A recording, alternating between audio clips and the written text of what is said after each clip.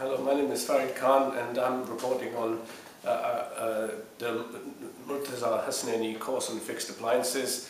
I came here with a background of doing Invisalign for about four or five years prior to this. I wanted to learn something about fixed uh, and what I gained from this course was uh, a much better understanding of examination and diagnosis in orthodontics.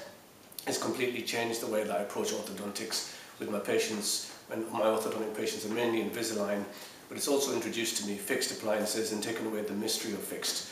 Uh, so now I can also treat patients with fixed and also overall my understanding of orthodontics is much better. I also think that Murtaza is a good teacher and he's always he's very amenable and open to questions. He, he never says he's never too busy to answer your question.